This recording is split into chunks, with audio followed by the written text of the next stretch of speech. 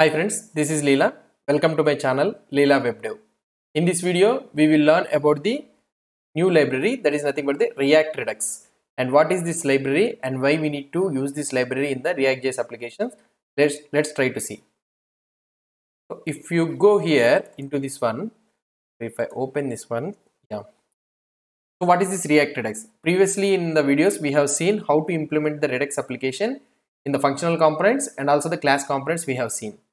So then, so we are successfully able to implement the Redux in the React.js applications. So then what is the use of this React Redux library?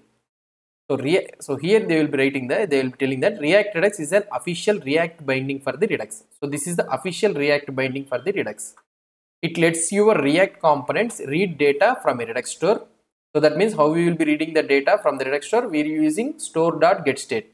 So same the same scenario, it will let your React components, okay, it will let your React components read data from the Redux store and dispatch actions to the store to update data. So that is that is what the Redux Redux library will do. And here React Redux, what it will do, it will it will help us to get the data from the store and also the to dispatch the actions to the store to update the data. So it React Redux will help us to do. Then you will getting a doubt that by using this Redux standalone library only we are able to get the data and we are able to read the data and also we are able to update right using the dispatch thing. So then what is the special using this React Redux we can think. So let's try to see. So here if you see why use React Redux? Redux itself is a standalone library. Yeah, so Redux itself is a library that can be used with any UI layer or framework. Yes, the React Redux application, sorry, Redux standalone library we can use it for any UI layer of framework, including React, Angular, Vue, Ember, Vanilla JS. Vanilla JS also we have implemented. So using any of these UI frameworks, we have, we can use this Redux as a library. Although Redux and React are commonly used together, so commonly used is with the React. The React is the Redux. So for Angular we are using NGRX. For Vue we are using Vuex. Like this we will be using right. So for for React we are using the Redux. Commonly they are independent of each other. So all so commonly if you see in the outside, so with the React application, if you want to implement the state management means we will be using the Redux only. But we are using the Redux means that is that React is not tightly coupled with the Redux. Redux is a separate, independent to each other. They both are independent to each other. So React Redux is the official Redux UI binding library for the React.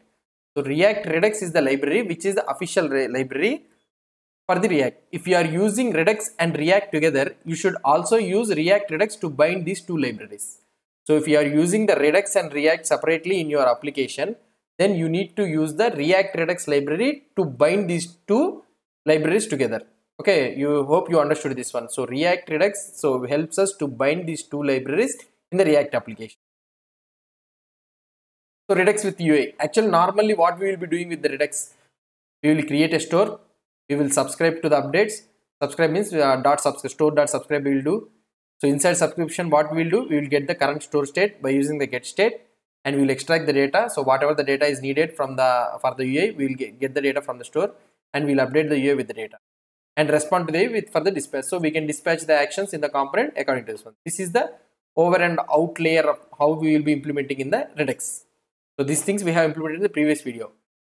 So now when it is while it is possible to write this logic by hand okay so this this all logic we can do it by hand. Doing so would become very repetitive. So by implementing that standalone redux library how we have implemented previously in the videos that code will become more repetitive. In addition optimizing ui, UI performance would require complicated logic. So optimizing the ui, UI optimizing ui performance would require complement complicated logic it seems. So if we are implementing redux as a standalone library so doing all those things, so optimization and all those things will become complicated. The process of subscribing to the store, checking for updated data and triggering a re-render can be made more generic and reusable. So whatever the process we are subscribing to the store, checking for updated data and these are all the things we can make it more generic and reusable with the React Redux. A UI binding library like React Redux handles the store interaction logic so you don't have to write that code yourself. So the React Redux will take the pain of this one. So whatever the store we are handling the logic, so dispatching an action, getting the state from the data uh, from the store, these are all the things React Redux will handle in a nicer way. So that we can so so that there is no need to write the code repetitively for uh, yourself. So now reasons to use this React Redux. So what are the reasons to use this React Redux? So the main reasons is first one is that it is an official Redux UI bindings for the React. So that means it is an official Redux. Uh, it is an official Redux UI binding. So for React, they have implemented Redux has has Redux has given the official implementation. So this React Redux is development development development is done by the Redux team itself. It encourages good React architecture. So the main thing is it encourages to implement the good React architecture. And another one is that it implements performance optimization for you. So the most important is so it implements the performance optimization. So performance optimization is implemented by using this React Redux. And also it has a good community support. So these are the four things which we which, which, which are the reasons to use the React Redux instead of using the Redux standalone library itself. And Redux uh, React Redux installation. So how the React Redux installation will be. So we will uh, normally how we will be using npm install Redux in the same scenario we will be using npm install React hyphen Redux. Or if you are using yarn means yarn add React Redux we can use it. How the first the initialization of the React Redux how it will be. React Redux provides provider tag. Okay, provider element will be component will be having which makes the Redux store available to the rest of your app. Okay, so now at the app.js, so this is the app.js. At the top, you will be mentioning the provider and you will be giving the store here. So whatever the store we are having, so we will be mentioning the store here. So that automatically, so every place we cannot, we will be not able to import these all the things. So automatically here we will be able to get so for the app. So in the in the parent we will be giving provider component and we will be sending as a props store store data which is created using the store dot create store. Sorry create store redux dot create store. So now this is the provider. So first we need to implement this provider. So for the parent uh, for the root of the application next react redux provides a connect function so another one is the react redux provides a connect function for you to connect your component to the store so you will be having a connect function for you to connect your component to the store. So this is how normally we will be using. So we will be using the connect function to connect your component to the store. So how, how, how the connect will be? Let's see. So here you will be able to see this is the uh, example. Let's think this is an component and here you will be having a variable map state to props.